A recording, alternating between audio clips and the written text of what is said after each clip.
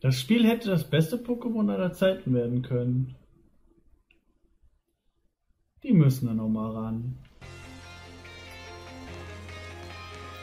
Die können ja nur besser werden. Oh, ich hoffe, dass die das nächste technisch nicht so verkacken.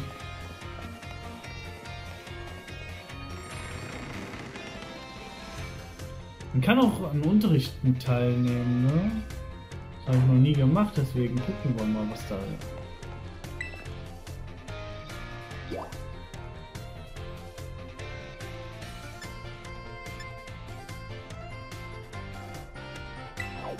Fangen wir mal an mit der Akademie und Erkundung.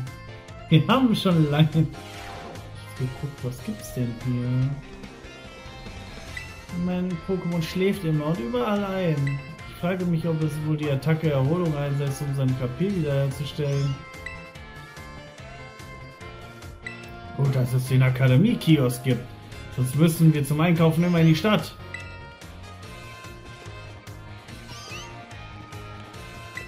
Hallöchen und willkommen. Wir haben alles Mögliche da, was Akademieschüler so brauchen. Aber auch nur Superbälle. Luxusbälle.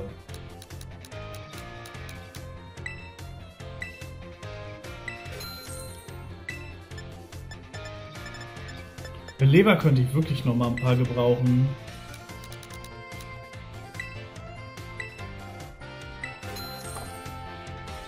Ich kann bei der nichts verkaufen, deswegen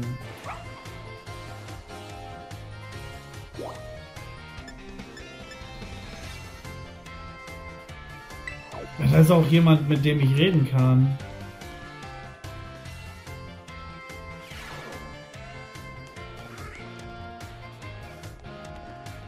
Pikachu ist so endlich niedlich. Das heißt, dass Pikachu je nach Geschlecht anders aussehen. Kann sie jedenfalls nicht unterscheiden. Das ist ein männliches. Wir schauen uns gerade an, wie groß unsere Pokémon sind. Es gibt wohl jemanden in der, dieser Stadt, der sich lobt, wenn sie besonders groß oder klein sind. Obwohl dieselben Art können unterschiedlich groß sein. Wusstest du das? Hm. Ah, wie geht's, wie steht's? Und Murasaki, hast du dich schon ein wenig an den Alltag in der Akademie gewöhnt? Das klingt doch super. Freut mich, dass du hier viel, so viel Spaß hast. Ach übrigens, verwendest du eigentlich auch die Pokédex-App? Denn, naja, weißt du, sie wurde von mir entwickelt. Immer wenn jemand ein Pokémon fängt, werden die Informationen an mich übermittelt und meine Forschung nimmt langsam Form an. Also schnapp dir alle neuen Pokémon, denen du begegnest und vervollständige so deinen Pokédex, ja? Peilen wir doch fürs Erste einfach mal 30 verschiedene Arten an. Melde dich bei mir, sobald du es geschafft hast. Du hast bereits 30 verschiedene Pokémon-Arten in deinem Pokédex registriert. Hui, was du nicht alles gefangen hast, das ist ja ein richtiger Datenschatz. Sag, sag mal. Hoppla, entschuldige, da ist die Begeisterung ein wenig mit mir durchgegangen bin mir jedenfalls sicher, dass du noch äh, eine große Hilfe meiner äh, Forschung sein wirst. Na denn nur, ein kleiner Dank für deine Mühen. Also, ich muss schon sagen, Murasaki, du bist ein kleines Fangtalent, das kann das sein? Lass uns als, nächste, äh, als nächstes doch mal 100 verschiedene Pokémon-Arten anpeilen. Nicht vergessen, wenn du ein dir unbekanntes Pokémon siehst, dann wirf am besten schnell ein Pokéball auf es. Du hast also 100 verschiedene Pokémon-Arten in deinem Pokédex registriert? Ach, das ist aber ein kleines Pokémon. Und das da ist richtig groß. Da hast du aber, mir, aber viele Daten zum Analysieren gebracht. So viele. Äh, entschuldige, da ist die Begeisterung schon wieder ein wenig mit mir durchgegangen. Dank dir macht meine Pokémon-Forschung große Fortschritte. Dann nimm nur, ein kleiner Dank für deine Mühen. Uh, Und aber mal ehrlich, Murasaki, du bist echt ein wahres Naturtalent darin, Pokémon zu fangen. Lass uns als nächstes 200 verschiedene Pokémon-Arten anpeilen. Mir ist schon klar, dass ich damit viel von dir verlange, aber halte durch und bleib am Pokéball. 200 haben wir noch nicht. Aber wir sind nah dran. Und ich bin offline. Ja, weil es abgestürzt ist.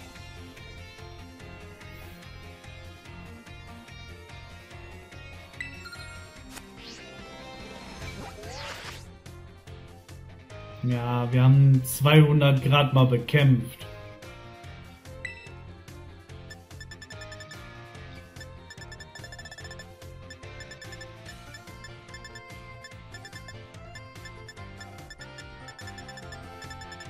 Muster haben wir noch gar nicht mal gefangen, obwohl wir sie schon gesehen haben. Könnten ja nochmal in der Mine zurückgehen.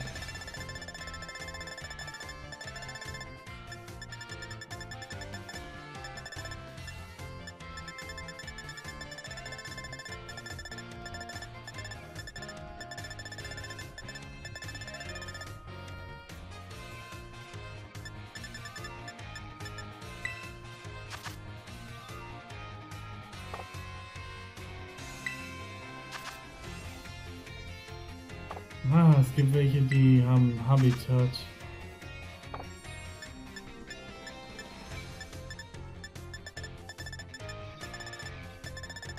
Wenigstens, also das, dass man sich das Habitat schon anzeigen kann, wie gut.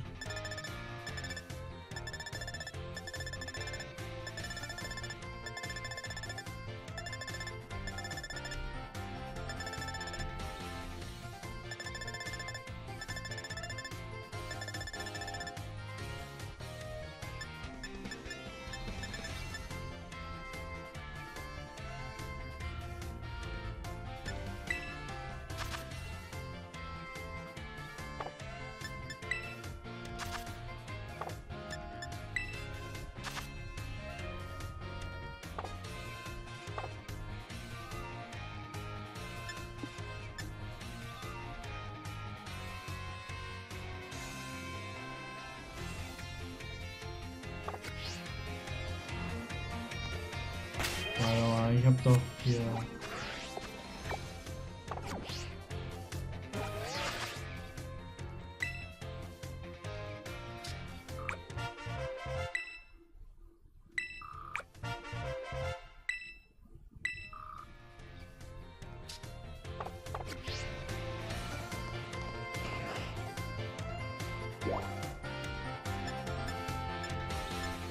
Kunstraum.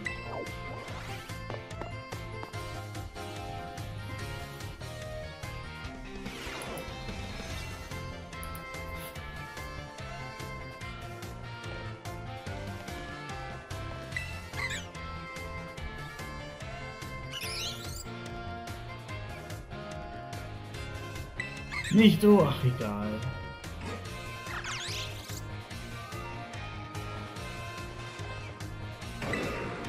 egal. Mein Slimer-Kasten, wenn ich versuche es mit Pokéclean zu waschen, warum nur?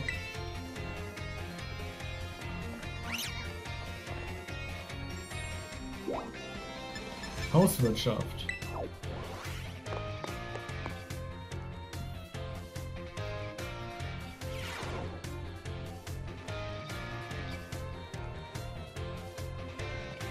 Also sowas von der Hauswirtschaftslehre.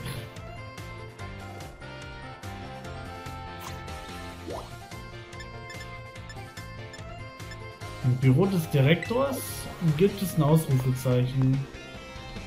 Das heißt, der hat noch was für mich.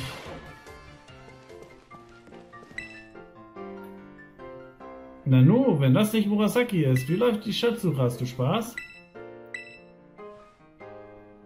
Gut, das freut mich zu hören. Bei der Schatzsuche gibt es keinerlei Verpflichtung. Du kannst tun und lassen, was du willst. So fällt mir ein, es gibt da etwas, was mich in letzter Zeit beschäftigt. Ich würde gerne deine Meinung dazu hören, Murasaki. Mir ist der Begriff, mir ist ein Begriff so angekommen, den ich nicht verstehe. Vermutlich ist es Jugendsprache.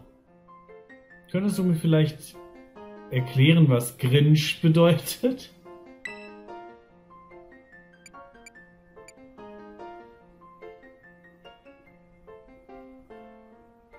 Oh, verstehe. Dieses Wort hört und verwendet man also meist in unangenehmen Situationen.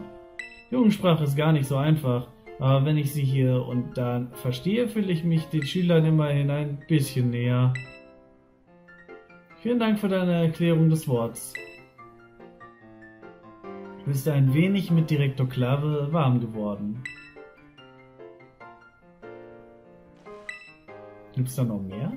Willkommen in meinem Büro, Murasaki. Es schadet nicht, ab und zu an der Akademie zurückzukehren und am Unterricht teilzunehmen. Ach, apropos Unterricht. Verzeih die etwas persönliche Frage, aber welche der folgenden an der Akademie eingestellten Personen weißt du besonders zu schätzen? Äh, ich kenne die alle gar nicht.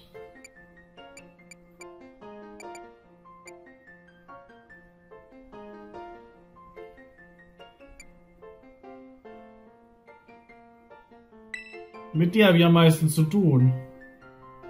Mit mich? Wirklich? Eine sehr diplomatische Antwort, aber wenn du das ernst meinst, stimmt, das, stimmt mich das natürlich froh. Die Traumakademie freut sich eines wundervollen Personals. Ihre Hingabe für das Wohl und die Bildung unserer Schüler ist ohnegleichen. Vielen Dank für deine wertvollen Einblicke, Murasaki.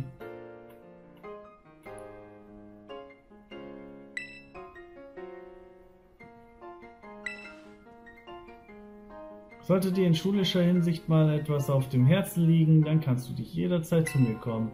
Ich habe immer ein offenes Ohr. Ich glaube, mit dem kann ich jedes Mal sprechen, wenn, ähm,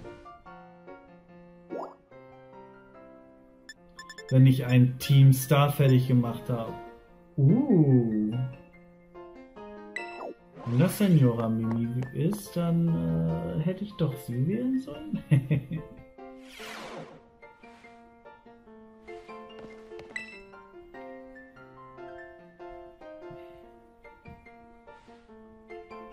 Wow. Nach reinspaziert, ich heiße Mimi und das hier ist das San der Sanitätsraum. Was führt dich heute her? Dir und deine Pokémon scheint es doch prima zu gehen. Momentchen, dich sehe ich hier aber zum ersten, allerersten Mal, oder? Ah, verstehe. Du hast also gerade erst hier angefangen. Ja, richtig. Murasaki, stimmt's? Ich habe schon jede Menge von dir gehört. Du sollst auf dem Weg zur Akademie von einer Klippe gestürzt sein und dich sogar mit Team, Team Star angelegt haben. Ach ja, und du hast sicher schon mit deiner Schatzsuche angefangen, oder? Ich hätte da eine Bitte. Solltest du da draußen über irgendwas Cooles stolpern, dann komm doch vorbei und erzähl mir davon. Hier langweile ich mich meistens nur, Unterricht gebe ich keinen und die Schüler tauchen vor allem auf, um Schulstunden zu schwänzen. Naja, ich würde mich jedenfalls riesig freuen. Abgemacht, okay?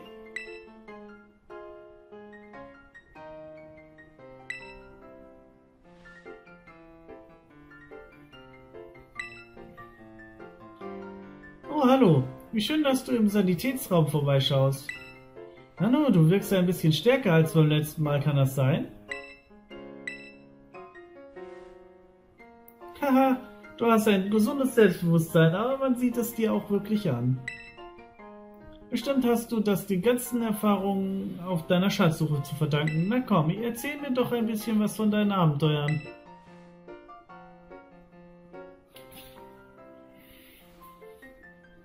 Wow, das ist ja echt abgefahren. Ach, nochmal Kind müsste man sein. Täglich warten neue Herausforderungen auf einen. Ich dagegen. Es war immer mein Traum, Lehrerin zu werden, musst du wissen. An die Akademie habe ich es zwar auch geschafft, aber als Krankenschwester unterrichten darf ich leider nicht. Ich bin leider durch die Zulassungsprüfung für Gesundheitslehre gerasselt.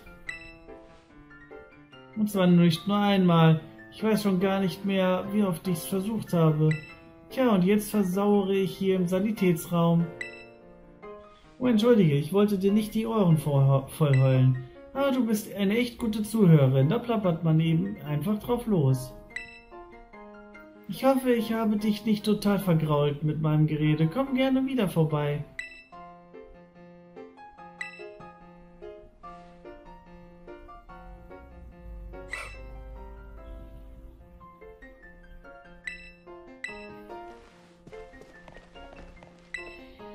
Kannst verletzte Pokémon hier im Sanitätsraum wieder aufpäppeln lassen.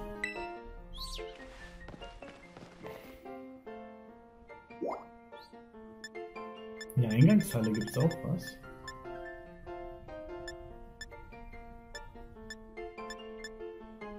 Eins D und zwei G.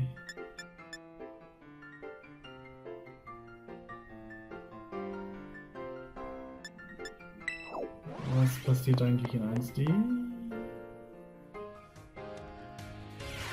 Nichts wirklich Großartiges. Damit ich wenigstens schon mal da war.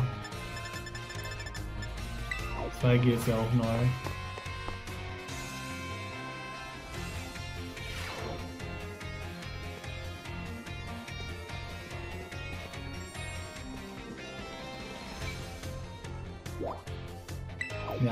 Eingangshalle gibt es jemanden, der mit mir quatschen möchte.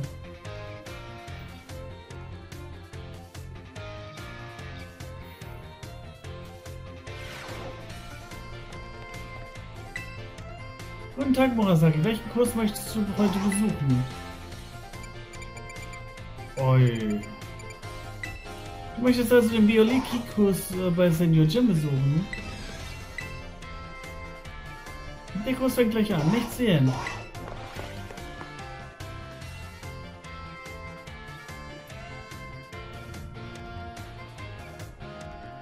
Wir fahren mal da Wichtiges. Wie geht's, wie steht's? Ich heiße Jim und werde euch in Biologie unterrichten. In meinem Unterricht lernt ihr mehr über eure geliebten Pokémon. Ich hoffe, dass euch durch das, dieses Wissen eure Pokémon noch weiter ans Herz wachsen. Heute bringe ich euch deshalb bei, wie ihr euer Pokémon besser kennenlernen könnt. Wärt ihr gern noch enger mit befreundet mit eurem Pokémon? Dann solltet ihr es aus dem, ihrem Pokéball lassen und mit ihm spazieren gehen. Ein Spruch für euer Merkheft. Drückt die ZR-Taste, mein Kind. Und wirft den Pokéball geschwind. Es ist schon echt niedlich, wenn ein Pokémon einem auf Schritt und Tritt nachläuft. Sprecht mit mir, äh, sprecht ihr mit den Pokémon, die euch folgen, reagieren sie auf euch. Vielleicht könnt ihr so auch etwas über sie erfahren. Aber Achtung, es gibt Orte, an denen man mit Pokémon lieber nicht spazieren gehen sollte. Weiß jemand, wovon ich spreche?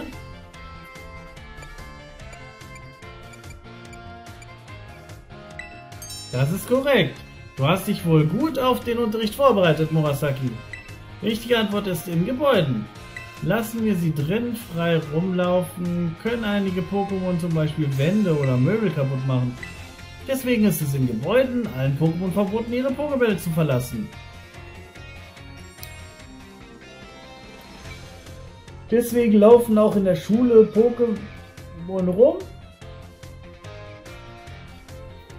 Aber man kann sowieso kaum in Räume gehen. Lasst eure Pokémon also bitte nur draußen frei herumlaufen, okay? Manchmal sehe ich sie nämlich hier im Klassenzimmer. Jedenfalls vertiefen gemeinsame Spaziergänge auch die Freundschaft zu euren Pokémon. Oh, bevor ich vergesse, denkt daran, dass ihr nur mit den Pokémon an der Spitze eures Teams spazieren gehen könnt. Also nochmal zur Erinnerung, ihr müsst die ZR-Taste drücken, um den Pokéball eines eurer Pokémon zu werfen. Und wenn ihr dabei auf ein wildes Pokémon zielt, beginnt ein Kampf. Das war's auch schon für heute. Wir sehen uns alle in der nächsten Unterrichtsstunde.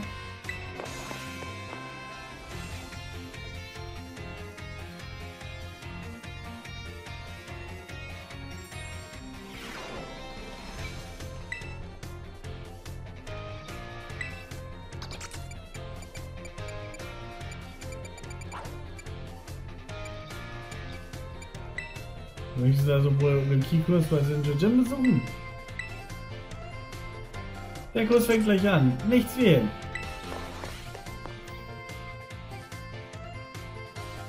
Komm, dann machen wir doch einfach mal die Kurse.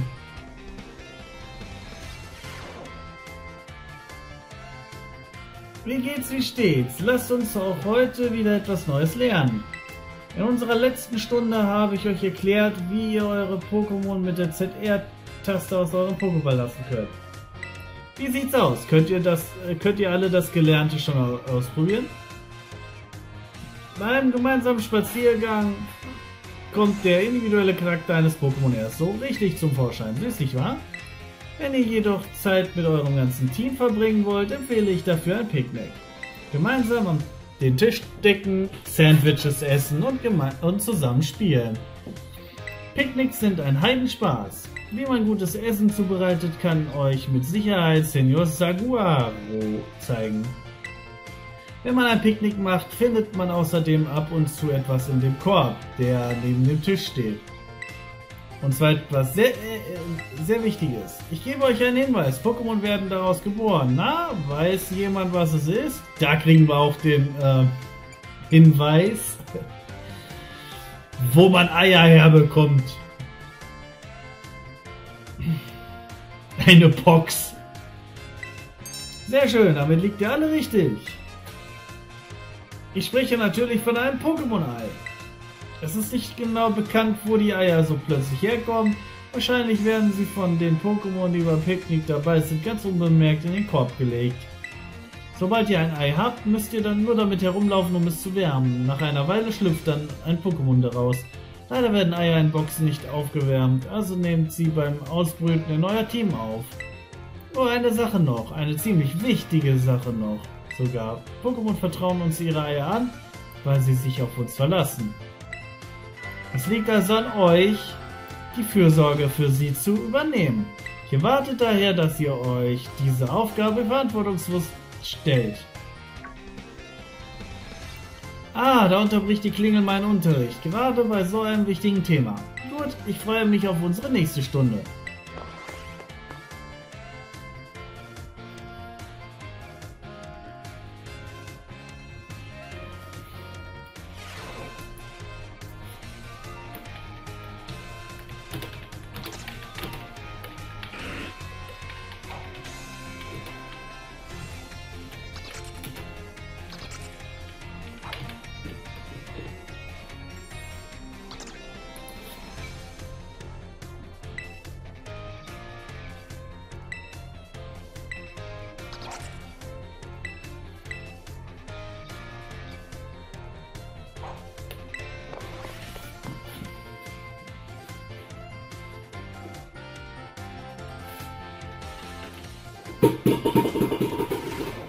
Hm. Wie geht's, wie steht's? Dann fangen wir doch ohne große Umschweife mit dem Unterricht an. Letztes Mal habe ich euch erklärt, wie wichtig Pokémon-Eier sind.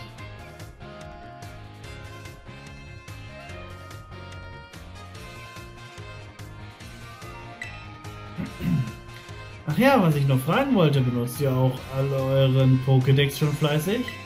Keine Sorge, der Pokédex registriert auch Pokémon, die aus Eiern schlüpfen. Hehe, wisst ihr, diese Pokédex-App habe nämlich ich entwickelt. Wird sie jetzt angeben?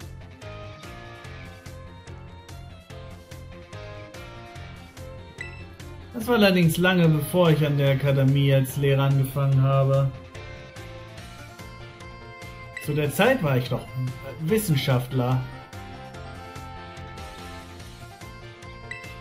Direktor Clavel war damals auch noch nicht der Direktor der Akademie, sondern hat gemeinsam mit mir geforscht. Wir haben uns Tag ein, Tag aus mit Pokémon beschäftigt. Das war eine spaßige Zeit. Auch wenn er ständig mit mir geschimpft hat. Ähm, ich schweife ab. Eigentlich sollte es doch um den Pokédex gehen. Also zurück zum Thema. In der heutigen Stunde bringe ich euch äh, bei, wie man Pokémon fängt. Wie ihr bereits wisst, muss man ein Pokémon zunächst schwächen, bevor man es fangen kann. Aber kennt ihr auch noch eine andere Technik, durch die sich Pokémon im Kampf leichter fangen lässt?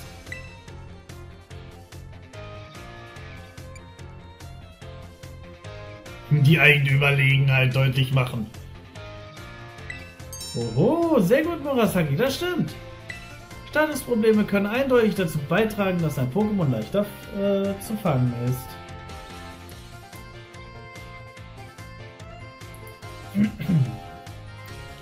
Besonders wenn ein Pokémon schläft, steigt die Erfolgsrate beim Fangen drastisch. Ah ja, also wenn ein Pokémon schläft, kann ich es noch Besser einfangen als paralysiert. Das wusste ich zum Beispiel jetzt nicht.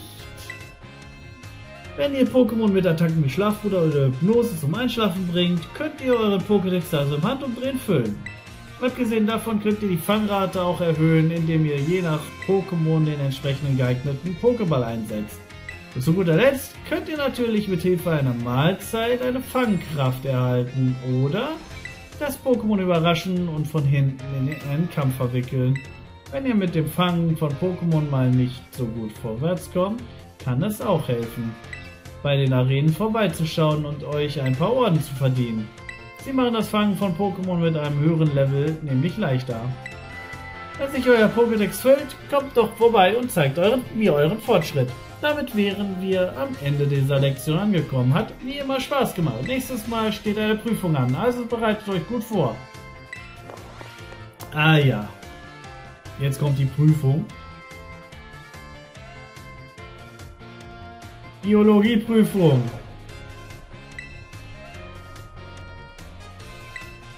Zwischenprüfung. Es gibt also noch äh,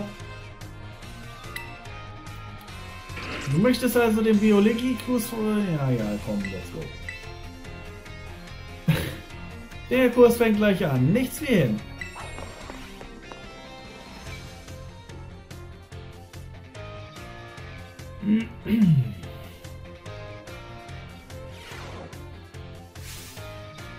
Wie geht's? Wie steht's? Heute ist es endlich soweit. Eure Zwischenprüfung steht an. Was gibt es Schöneres, als die Lücken auf einem Testbogen mit Antworten zu füllen? Es besteht aber kein Grund zur Eile, also geht die Fragen langsam an.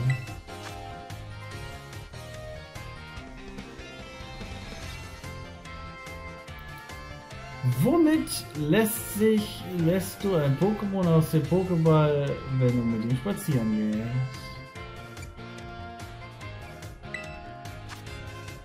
Wann und wo kann man Pokémon-Eier finden, wäre die richtige Kombination.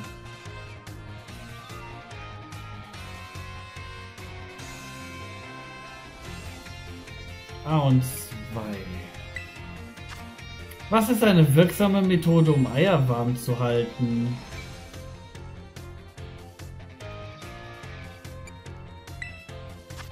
Was hilft nicht beim Fangen von Pokémon?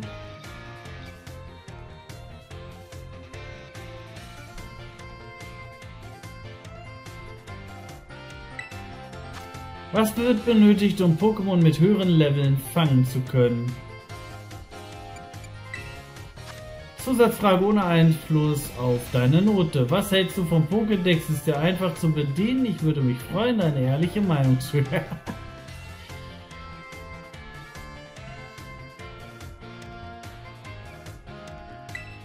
So, die Zeit ist um. Ich hoffe, ihr hattet alle Spaß beim Beantworten der Fragen. Die letzte Frage war nur etwas, das mich persönlich interessiert. Verpetzt mich nicht beim Direktor, okay? Werde eure Tests so schnell es geht benoten, also seid gespannt auf die Ergebnisse. Ja, Benotung. Komm, gib mir eine 1. Es hört sich gut an, wenn man eine Prüfung hinter sich gebracht hat, nicht wahr? Jetzt möchtest du bestimmt wissen, wie du dich geschlagen hast. Die Zwischenprüfung gilt als bestanden, wenn du drei Fragen korrekt beantwortest. Bei der Abschlussprüfung hingegen musst du viermal richtig liegen. Wollen wir doch mal schauen, wie du in der Biologie abgeschnitten hast. Du hast fünf von fünf Fragen korrekt beantwortet. Damit hast du die Prüfung bestanden. Herzlichen Glückwunsch. Senior Jim hat für alle, die bestanden haben, ein kleineres, kleines Geschenk vorbereitet. Oh. Und immer schön weiterlernen, hörst du?